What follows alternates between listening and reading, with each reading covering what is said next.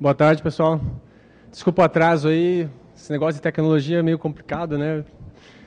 Os slides estão na nuvem. Não deu certo. O Google me gerou uma URL enorme, não conseguimos digitar. O Bitly falhou. Agora loguei na minha conta do Google e vamos ver. Daqui a pouco os slides devem estar por aí. E até isso é engraçado que tem a ver com, com o que eu vou falar aqui hoje. É, o tema é Shell Script. É, deixa eu me apresentar primeiro, né? É, eu trabalho com Shell Script desde 97, quando eu trabalhava na Conectiva, saudosa Conectiva, que fazia o Linux aqui no Brasil, anos atrás. É, sou escritor, escrevi livros sobre Shell Script, sobre expressões regulares. Quem gosta desses assuntos. É, e o que, que tem a ver o Shell moderno? O que seria isso? Vou contar uma historinha primeiro. Lá em 97, ah, quando eu trabalhava na Conectiva, ah, a minha primeira função lá foi ser sysadmin, ou instalar servidor, que era o que a gente chamava na época, né? É, pegar o que, que era instalar um servidor naquela época. Pegar uma maquininha, um PCzão empoeirado, bota em cima da mesa, liga o teclado, liga o monitor, ah, pega o CDzinho do, do Conectiva, do Linux, do Debian, enfim, whatever uh, coloca o CDzinho, instala o Linux, aí compila o kernel, instala os pacotes RPM, o pacote Debian que você quer, configura os arquivinhos na mão, edita os arquivinhos.conf, inicia o serviço, ah, pronto, fiz um servidor de e-mail, fiz um servidor web. Isso, e você cuidava desse servidor depois, isso era ser administrador de sistemas naquela época, 97, há quase 20 anos atrás. É, e para passar os slides daí, como é que faz? Tem um negocinho, não? Tá, pode passar, por favor, então.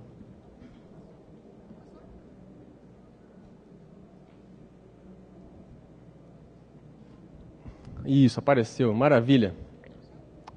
Pode passar, por favor. Então, só para ilustrar, né, naquela época a gente era muito a máquina física, né? Você esse servidor aqui, esse servidor aqui, e eu mexia nele, eu logava nele, eu fazia tudo nele, eu sabia tudo que tinha ali dentro. Eu faz, manualmente eu fiz tudo que está ali naquele servidor. Pode passar, por favor. O CDzinho, o manual, tal. Isso era como era antigamente. Pode passar, por favor. Pode passar. Então, essa era a nossa rotina. Onde entrava o shell script? Ah, mas eu queria automatizar um pouco isso aí eu conseguia fazer um shellzinho de instalação que cuidava dessa parte do processo. Ah, instalar os pacotes, configurar os serviços ali e iniciar esses serviços. Então, é, nessa época, você programar em shell script, basicamente era isso. Era você cuidar de um servidor e automatizar aquele roteirinho que você fazia. Pode passar, por favor. É, nesse meio tempo, pula 20 anos, eu saí da área de administrador de sistemas, é, fui para programação e perdi as ondas que tiveram de máquina virtual, de cloud, de Docker. Não vi nada disso passar, só acompanhei de longe, vendo as notícias no BR Linux e, e tal. Ah, pode passar, por favor? Então, coloquei algumas coisas só. Hoje, não existe mais esse negócio do sysadmin com a maquininha local ali. Hoje está tudo na nuvem, está tudo remoto. É, o servidor ele é, ele é descartável. Você tem que, ele tem que poder subir e morrer da mesma forma várias vezes. Então, o que, que aconteceu? Há oito meses atrás, eu comecei a trabalhar numa startup. E lá, eu, eu sou funcionário público de Joinville e trabalho na prefeitura. Prefeitura, vocês já imaginam, não tem cloud, a prefeitura ainda está na, na década passada, digamos, em termos de, de infraestrutura. Tudo é local, servidor tal. E na startup é o total oposto, né? É 100% Amazon, 100% nuvem, não tem nenhum servidor local, não tem nenhum CDzinho do Linux lá, tipo, como é que pode? Que absurdo. Mas as coisas hoje são assim. E aí nesse meio tempo, então eu aprendi essa nova maneira de de, de, fazer as coisas hoje. Então lá eu sou faço parte da equipe de, de ops, lá de operação, então cuido de servidores, voltei a essas origens. E lidando com todas essas coisas aí, essas palavrinhas mágicas, e eu sei que tem, uh, esse é o foco lá da empresa, mais a Amazon, mas eu sei que tem uh, similares livres do, do, da Red Hat, ali, OpenShift, OpenStack, tem várias outras. Então eu vou falar aqui sobre algumas, mas o conceito, eu quero passar o conceito. Então, onde entra o Shell Script nessa história? É, se eu não tenho mais, pode passar, por favor. Se antes eu tinha o meu servidor, que eu cuidava, eu fiz, eu sei tudo que está ali dentro, com cuidado. Passa mais um, por favor. E hoje, ah, isso era um GIF animado, que pena que não tocou. O cara está jogando as caixas ali. Hoje o que? O servidor, ele, ele é só um recurso que você liga, desliga, é, dispara quantos você quiser. Então você não pode mais fazer nada na mão, entrar lá e editar um ponto .conf. Esse servidor vai morrer vai lançar outro e você vai perder aquilo que você fez. Você precisa automatizar isso, você precisa que seja repetível. Esse servidor tem que lançar igual todas as vezes. Aí foram criadas aquelas ferramentas que a gente viu no slide anterior. E Shell Script agora, finalmente, onde que entra? Pode passar, por favor? Onde que entra o Shell nessa história?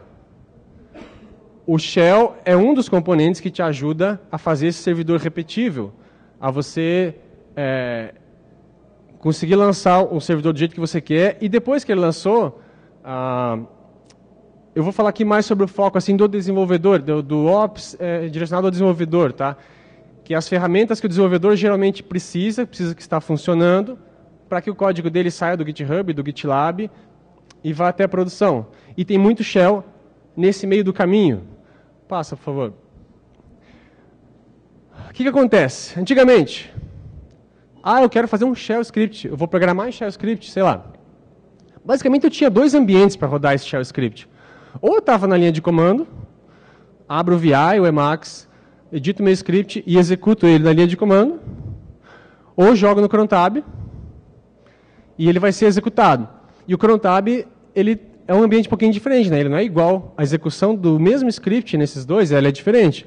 No cron você tem que definir o path do zero, é, não tem std in, std out ali, você não é interativo, né? ele acontece automaticamente.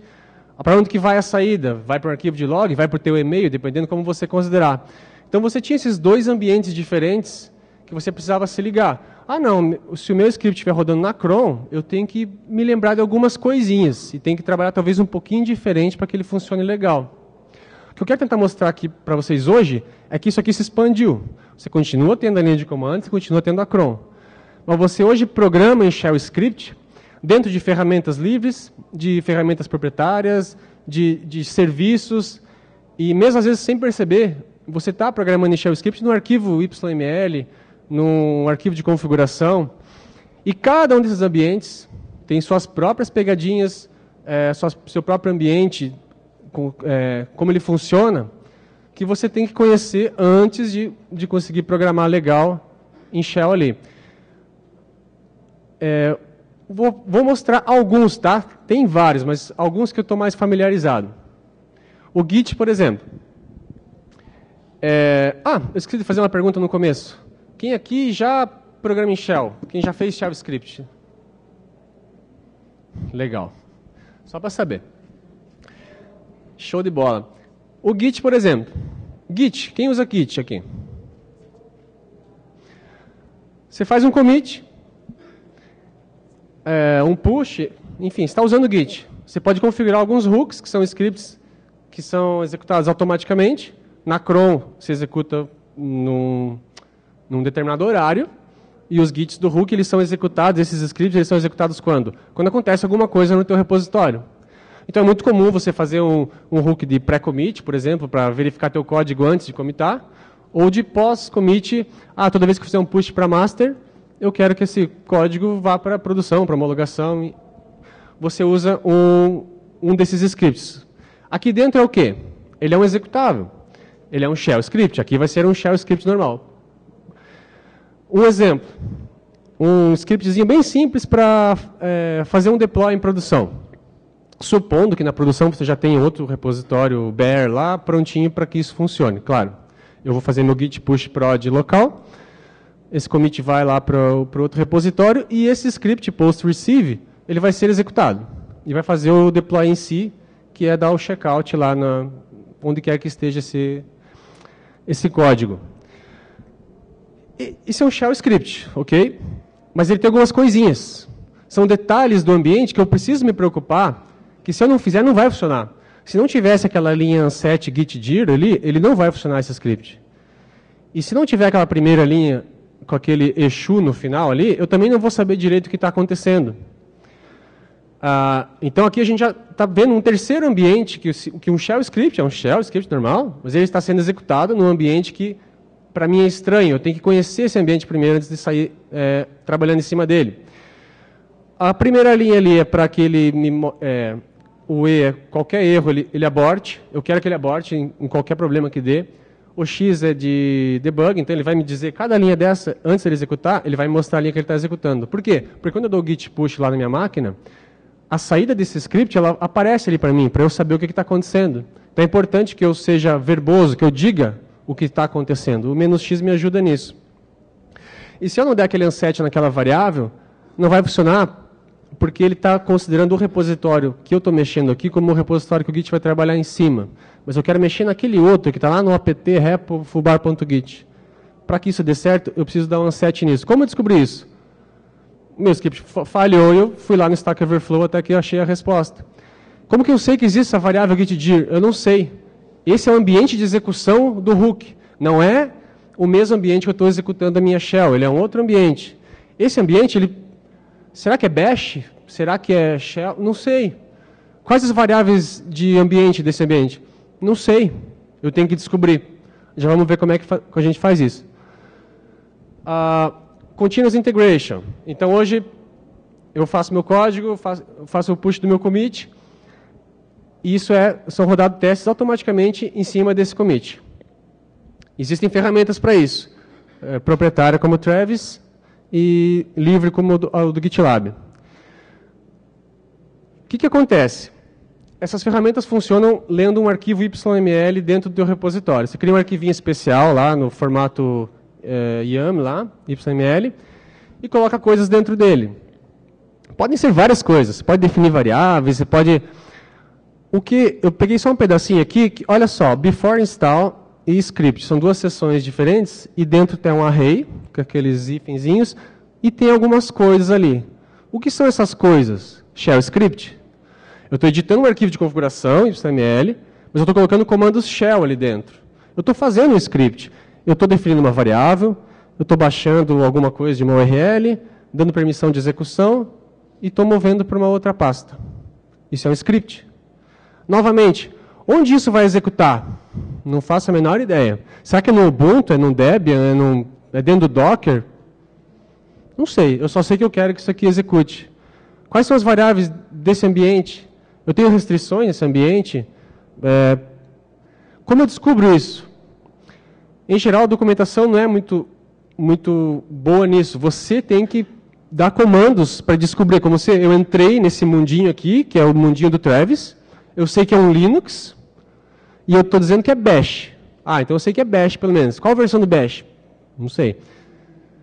Uh, e o script ali embaixo a mesma coisa, mais dois comandos. Então aqui eu tenho, digamos, a gente está vendo dois shell scripts numa mesma configuração, que vão ser executados num servidor remoto que eu não sei qual é. é. E eu só sei que deve funcionar isso aí. Então a nossa programação em script hoje, ela tem um pouco de incerteza. Por isso é importante você programar de maneira mais defensiva. Será que é Bash 1, 2, 3, 4? Se for Bash 2, eu não vou poder usar array. Ou será que é, é um Bash mais restrito? Então, eu tenho maneiras de programar mais, de maneira mais conservadora para evitar que meu script quebre lá na máquina remota. Se eu testar na minha máquina esses comandos, eu vou copiar e colar, vai funcionar, porque é na minha máquina, tudo funciona. Pode passar, por favor. Aqui é só para dar um destaque que é shell mesmo, tá? Eu estou definindo uma variável, eu estou usando essa variável. Essas linhas, elas não são independentes, elas estão rodando no mesmo ambiente. Então, o que eu defino numa linha, eu posso usar na outra, só para deixar claro que isso aqui é um shell rodando no ambiente, que eu desconheço. No GitLab é a mesma coisa. Eu tenho também um arquivo YML, que é uma configuração, e eu defino coisas.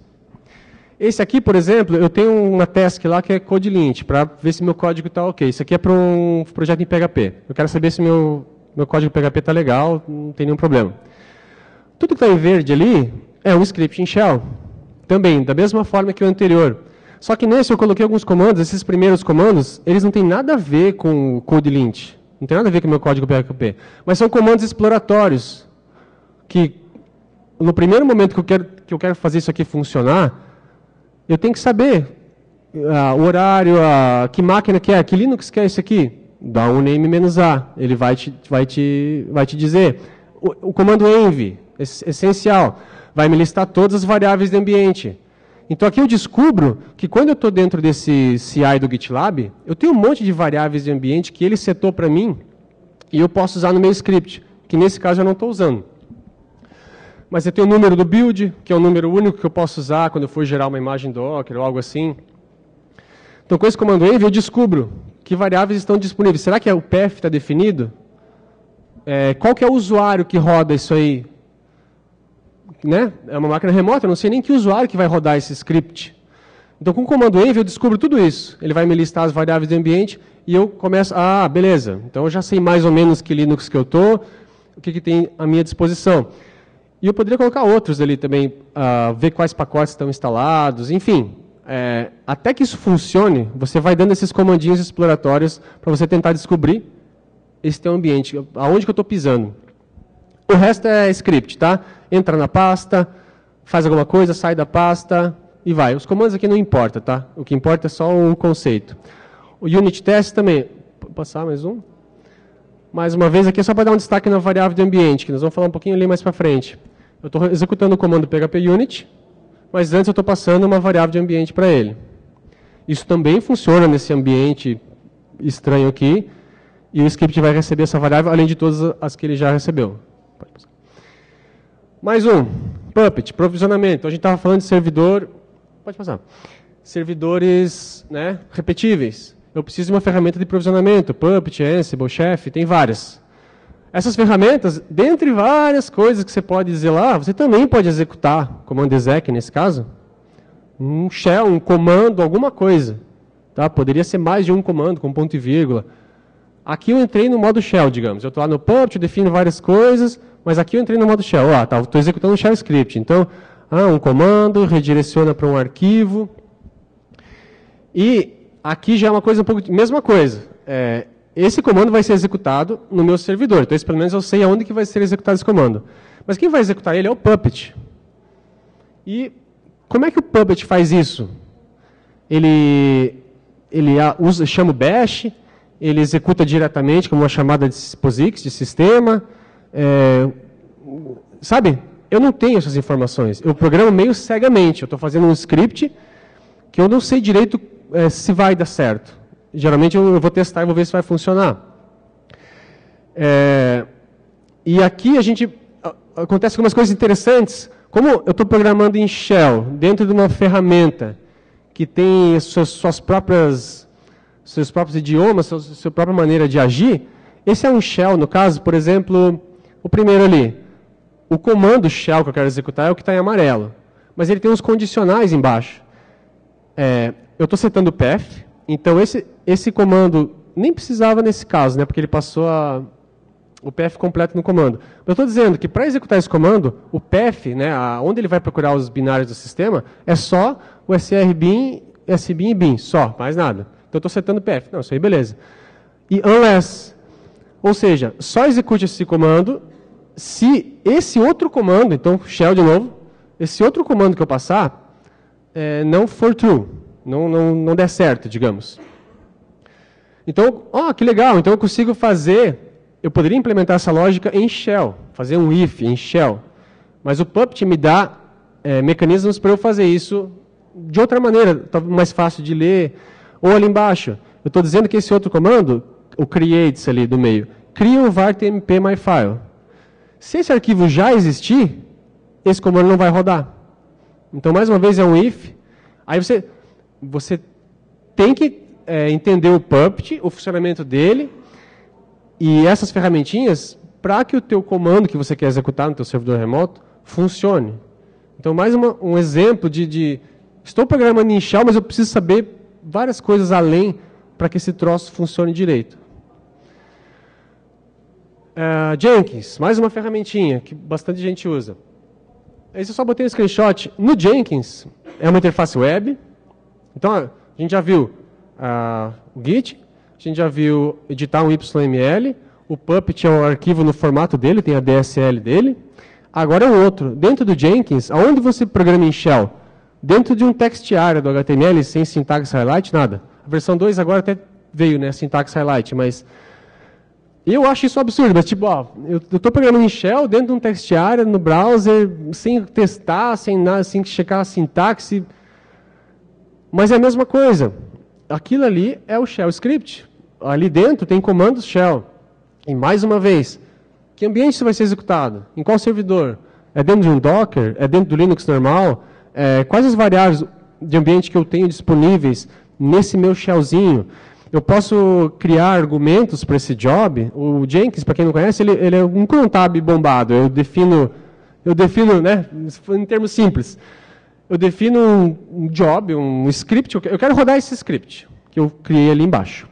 Eu posso dizer para ele rodar determinado horário, ou eu posso dizer, não, é manual. Eu, eu aperto um botão que vai dizer roda esse script.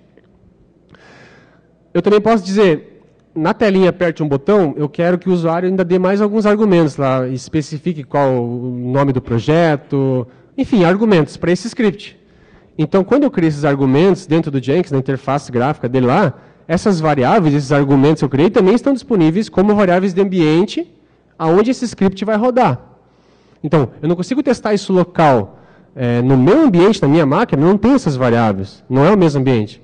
Mas eu tenho que saber e confio que quando isso aqui rodar, lá, vai ter essas variáveis de ambiente disponíveis. E eu uso ela dentro do meu script. O que torna bem mais difícil de você testar esse tipo de coisa na tua máquina. Você acaba testando direto na ferramenta, tentativa e tentativa erro, uma hora funciona, beleza, passa para frente. Ah, e, por fim, o Docker, pode passar. É, Docker aqui, quem que usa? Ok pouca gente. Então, o Docker, uh, o que a gente está vendo aqui é um Dockerfile. É um arquivo que é uma receitinha, é uma receita de bolo, tá? O Docker ele vai gerar no fim uma imagem de algo, de um aplicativo, um sistema. E, só um pouquinho.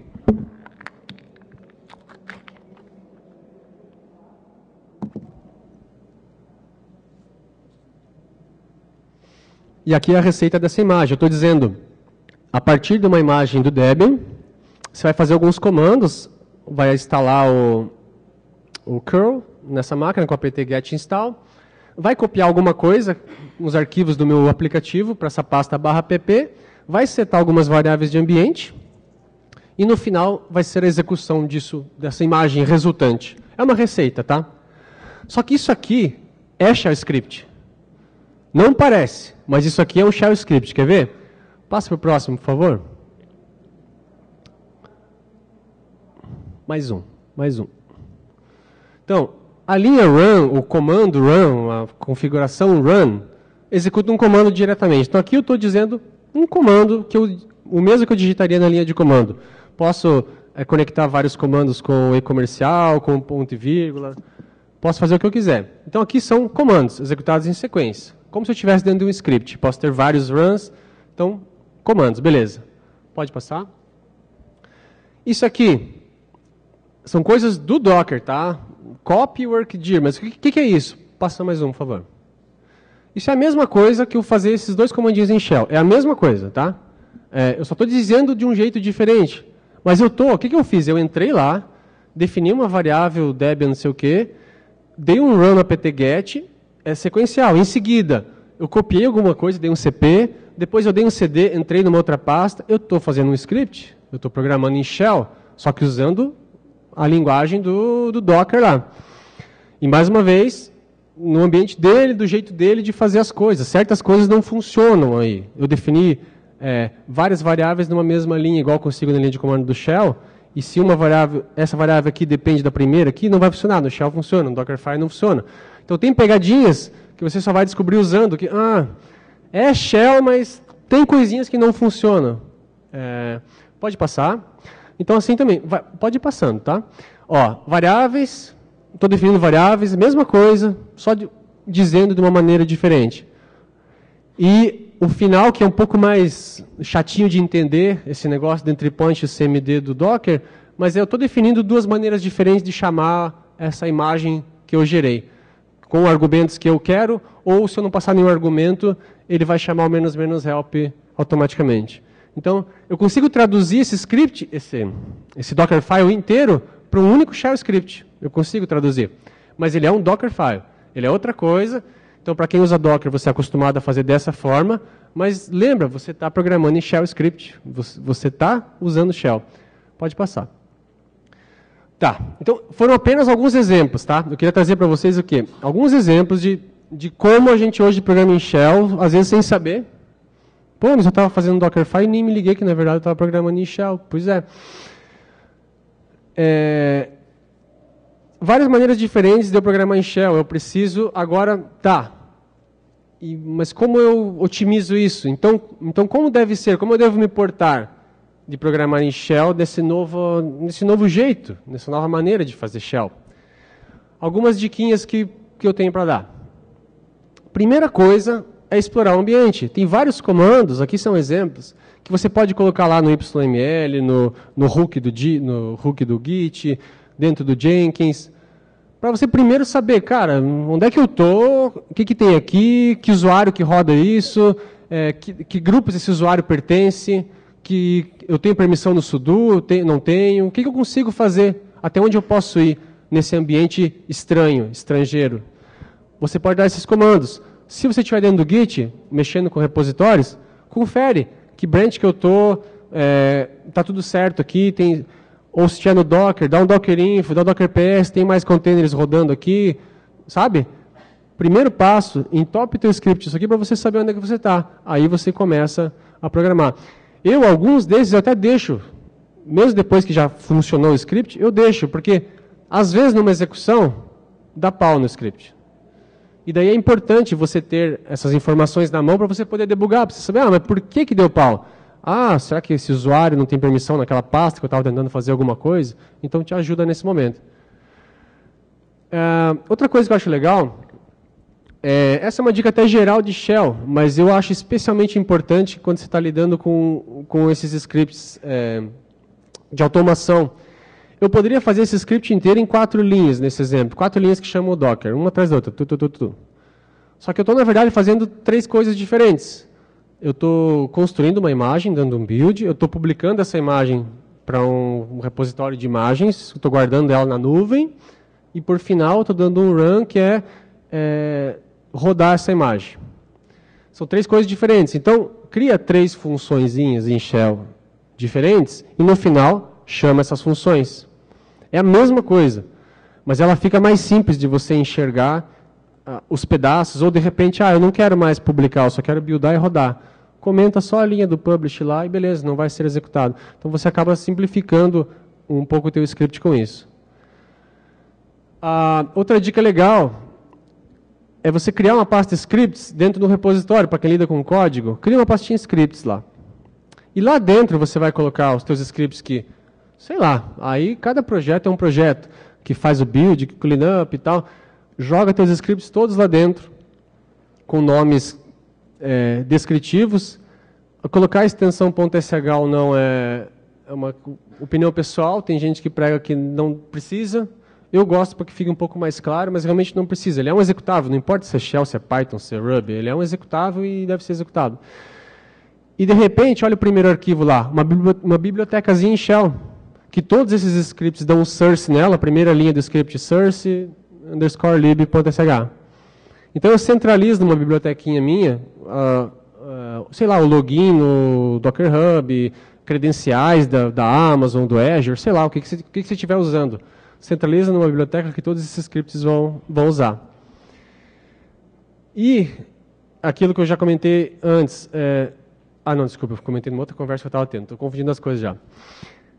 Shell, programar em Shell, é, pode ser é, BinSH, pode ser Bash, pode ser KSH, pode ser ZSH, tudo é Shell, mas são incompatíveis entre si. É, 10? Então, o Puppet lá, é Shell, é Bash ou é SH? Não sei. Tudo que funciona no, no SH funciona no Bash. Em geral, as ferramentas usam Bash, tá? Ou SH. Então, você ter uma, essa atitude mais defensiva de programar em SH, em POSIX, BIM SH, as coisas mais, então, eu não vou usar, eu não vou usar um monte de coisa que eu acho que é, vários de vocês usam. Array, por exemplo, em Shell, não, você não pode usar. Array não é compatível com o BIM SH original lá da década de 70 que está até hoje aí. É, substituição de variável, aquele for esquisito, cara, nada, nada disso aqui, entre outras várias outras coisas que são legais, que são úteis, você não pode usar. Não é que você não pode, às vezes até funciona. Mas na prática, se você quer que aquele teu script rode no maior número de ambientes diferentes, e se antes a gente tinha só aquela linha de comando de cron agora a gente tem todos esses que eu mostrei, mais uma variedade deles, é bom acostumar desde já a não usar array, não usar essas coisas mais uh, complicadas, você não precisa tanto se preocupar hum, será que no ambiente lá é, é o Bash mais recente? Não precisa se preocupar. Não, o teu script ele é portável. Ele funciona em vários sabores de shell diferente, porque você foi defensivo. Isso é importantíssimo. Todas essas ferramentas têm um log. Você consegue, você entra lá no, no GitLab, no, no, Travis, no Jenkins, tem uma telinha lá que você vai entrar e vai ter o, o log. O log do teu script. Ele vai dizer, tentei executar essa linha, esse foi o resultado. Então, dentro do teu script, como você não... Se o script der pau, você não vai poder abrir uma shell e entrar lá e ver como é que estava o ambiente naquele momento e debugar. Não, ele, ele cria aquela máquina que vai rodar o teu script, dá pau e aquela máquina some, morreu. Então o teu script já tem que prever isso e já dá as informações que você vai precisar se isso der problema. Se eu vou fazer algo, eu coloco um eco dizendo o que eu vou fazer, porque ele vai aparecer na linha de log lá, vai fazer tal coisa. Se eu ver que deu pau logo depois, eu já, já tenho uma ideia. Ah, tá, deu pau na hora de fazer o backup. Então é ali que está o problema no meu script. E se eu vou fazer uma cópia, ou qualquer coisa que, que tenha um comando, o, o "-v", o verbose, que, que me diga que durante aquele procedimento eu também tenha mais informações, vai que é, deu pau ali naquela... acabou o espaço em disco, e aquele CP, aquele primeiro CP falhou. E é importante para mim saber quais arquivos ele conseguiu copiar e quais não. Se você não colocar o menos "-v", você não vai saber. Ele vai dizer, deu erro no CP. Colocou o menos "-v", ele vai mostrar um por linha todos que eles estão copiando e você vai saber exatamente qual foi o último que deu certo antes de dar o erro. E colocar a data também, uh, em geral as ferramentas têm, mas se não tiver, coloca a data, até para você ter uma ideia, quando começou, quando terminou. É, como a gente está falando, a gente fala muito de variáveis de ambiente, tá? É importante que é, dentro do teu script, coloca as tuas variáveis em minúsculo, sempre. E só deixa maiúscula, eu sei que tem gente que adora botar maiúscula para tudo, mas deixa maiúscula só para as variáveis de ambiente. As variáveis que estão no ambiente, que vêm lá, setadas pelo Jenkins, setadas pelo, pelo Travis, pela ferramenta. Para você saber certinho pô, essa variável aqui, só de olhar para ela o nome dela, eu já sei, ah, tá, essa variável Travis, ou S-name, ou build ID, não, ela não é minha, não, fui eu que tô, não sou eu que estou definindo ela. Ela já existe no ambiente que esse script está sendo executado. Então, essa padronização ajuda. E conhecer as variáveis do seu ambiente. Então, se eu vou usar o GitLab CI, eu vou na documentação dele, ou vou dar aquele comandinho env, e vou ver quais são todas, aqui é só um pequenino exemplo, tá? São todas as variáveis que esse cara seta no meu ambiente que são as variáveis que eu vou usar no, dentro dos meus scripts. Então é importante você saber quais são elas e o que, que significa, o que, que tem dentro de cada uma delas. Outra dica legal, você usar, já que essa maneira de fazer as coisas depende muito de variáveis de ambiente, faça o teu script ser assim também. Você pode fazer a primeira linha ali em vermelho. Ah, eu tenho um script e eu passo argumentos para ele. Lembrando que argumentos posicionais é sempre uma má ideia, tá? Eu, eu faria uma opção de linha de comando, alguma coisa para isso ficar mais robusto, mas só para a gente exemplificar aqui mais, mais fácil. Eu posso fazer da primeira maneira, eu posso fazer da segunda. São equivalentes. A diferença é que na primeira eu tenho que saber a ordem, o que, que é o primeiro, o que é o segundo, o que é o terceiro. E na segunda eu estou usando variáveis de ambiente.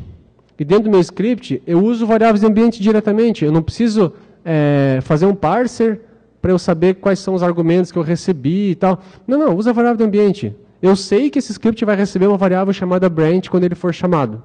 E eu posso verificar antes. Se não existir a variável branch, existe, já, já vai embora. Então você, você simplifica o teu script confiando, usando também as variáveis de ambiente, em vez de usar opções de linha de comando ou argumentos. E o mais legal aqui, essas ferramentas em geral, esses ambientes novos em geral, eles operam no modo strict, no modo, o que, que é isso? Qualquer erro que der, teu script tem 20 linhas. Se der um, normalmente o shell script que se executa na linha de comando, se der um erro na linha 5, ele continua, ele vai para 6. Se deu um, CD numa pasta que não existe, tudo bem, esse comando falhou, ele vai para o próximo. E sai executando, ele vai sempre até o final. Nessas ferramentas, em geral, o primeiro erro que dá, ela aborta a operação. Então você pode emular isso nos teus próprios scripts, fazer que isso aconteça também. Não, não, eu quero ser mais estrito, eu, eu quero ter essa experiência nos meus scripts também. Primeiro erro que der, se eu tentar entrar numa pasta e ela não existe, eu já saio do meu script, porque eu não vou mais conseguir fazer o que eu queria fazer naquela pasta, porque eu já não estou mais dentro daquela pasta. Como é que você liga isso? Lá no topo do teu script, você coloca esse set menos e. Então eu estou passando várias opções para set, menos e, menos u e menos o pipe fail, que é uma coisa só. Está ali descrito o que faz cada uma delas, mas a ideia é essa. É, o meu script ele sempre roda no modo estrito, no modo assim, qualquer erro eu vou abortar a operação. Se eu tentar dar um eco numa variável que não existe, vai dar erro, que é outra coisa que em Shell normalmente não dá erro nenhum. Tudo bem, uma variável que não existe, beleza. É, pode passar o próximo, por favor. E só a pegadinha, se você ligar esse módulo nos seus scripts, tem vezes que você, não, tudo bem esse comando falhar. Eu, tudo bem, esse comando especificamente pode falhar. Eu não quero que o script aborte se esse comando der pau. Então você pode botar um pipe true ali no final do comando. Então beleza, esse tudo bem. E se você for referenciar uma variável que pode estar vazia, você tem que fazer aquela magiquinha ali do echo que está em verde, que é essa construção do shell diz, se essa variável não tiver setada, não tiver conteúdo, troque ela por, é, expanda ela para o que, que, quer que venha depois do hífen. Como eu não coloquei nada depois do hífen, ela está expandida para uma string vazia. Então, na prática, eu volto o funcionamento como se eu não estivesse usando esse modo estrito. São assim, as duas, as duas pegadinhas que tem quando você começa a usar esse modo nos seus scripts. Eu passei a usar isso nos meus scripts, e hoje eu, eu prefiro muito mais que seja assim, tipo, no meu script é para ir certo do começo ao fim. Qualquer erro que der no meio, eu quero que ele aborte, porque algo deu errado. Eu vou ter que tratar isso no script. Pode passar. E por fim, uh, ligar o debug. Às vezes você tem teu script, mais uma vez usando variável de a chamada ali embaixo, ó, usando variável de ambiente para ligar uma funcionalidade do script, em vez de passar um menos, menos v, menos, menos verbose, usa variável de ambiente, e essa é uma maneira bem fácil de você... Pode passar. Meu tempo já deu, né? Tá, então vamos... Mas pode passar mais uma. Já está no final mesmo além do teu shell, a gente tem ferramentas que hoje, há 20 anos atrás, não eram tão relevantes e hoje a gente necessita delas. A Shell Check é uma que eu recomendo, quem não conhece ainda. O que, que ele faz? Varre o teu script e aponta vários erros que você cometeu na hora de escrever esse script. Pode passar? E hoje o JSON é muito importante, você tem que lidar com JSON. Você manda JSON para o Web Service, você lê JSON do Web Service, essa ferramentinha JQ, na linha de comando você consegue fazer parsing de arquivos JSON, extrair dados dali de dentro, ou só formatar ele, excelente. E claro, curl e sed são essenciais para você acessar web services, postar coisas, e o sed especialmente, é, como o seu servidor tem que ser repetitivo, você faz geralmente um template de um arquivo de configuração e você troca é, série o valor dessas variáveis em tempo de execução. O sed é excelente para fazer isso, olha lá, a segunda linha, na terceira, Uh, procure pela linha debug e troque false por true. Estou ligando o debug de algum arquivo de configuração usando o sed. Ou até com o Docker. Eu já tenho um container rodando e... Ah, eu tenho um container do WordPress, eu queria ligar o debug, mas só agora, só para esse container, uma coisa rápida. E de repente esse container não tem nem VI, não tem NAN, não tem nada instalado, é um container peladão. Uso o sed, docker exec, uso o sed para trocar um arquivo de configuração no meio num comandão só. Então, maneiras novas da gente continuar brincando de shell script. E, por, por fim, a, a gente precisa conhecer ferramentas que os provedores ah, de nuvem, eles dão ferramentas próprias. Então, se eu quiser lá na Amazon criar uma, uma máquina, não sei o quê, eu tenho um comando AWS isso, AWS aquilo, pela linha de comando, eu não preciso usar a interface web. Então, eu vou usar isso dentro dos meus scripts também. Se o meu script precisa criar um servidor, configurar, é, setar um DNS, levantar uma, uma, uma rede, eu faço isso tudo usando o AWS alguma coisa, ou Azure alguma coisa. Cada provedor, eles enxergaram a, a, a vantagem que é você ter uma ferramenta de linha de comando para fazer essas coisas. Então, eu coloco isso tudo nos meus scripts. Então, eu acho importante vocês conhecerem essas, essas ferramentas. Isso aí. Desculpa a pressa, pessoal, mas perguntas?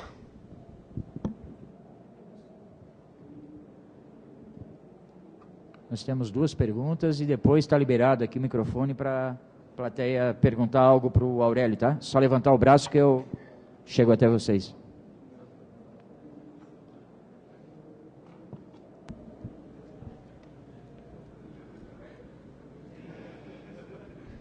Todo mundo entendeu tudo, então beleza. Tô...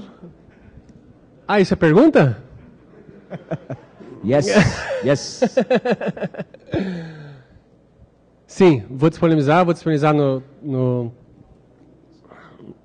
qual que é? Deck Slider, Deck, nem lembro o nome do site também.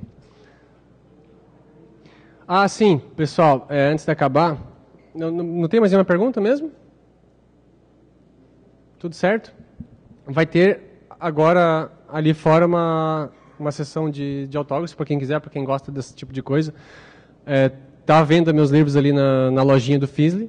E vou estar ali agora. Eu até quiser bater um papo sobre isso aí ou sobre outras coisas também, estou por aí disponível.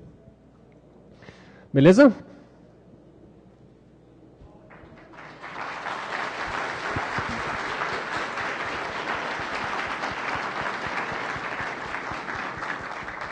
Aí quem puder avaliar a palestra usando esse aplicativo aí, a galera agradece. Muito obrigado.